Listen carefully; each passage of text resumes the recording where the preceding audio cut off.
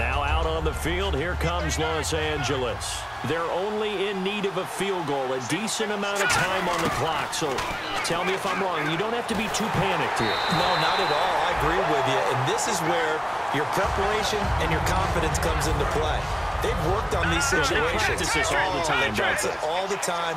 They know what they want to get done. And in a lot of cases, the great competitors, they love this situation. They think they can go. And that's caught inside the 35.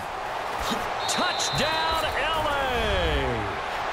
Corey Coleman, his fourth touchdown on the year. And his guys have taken the lead here in the fourth.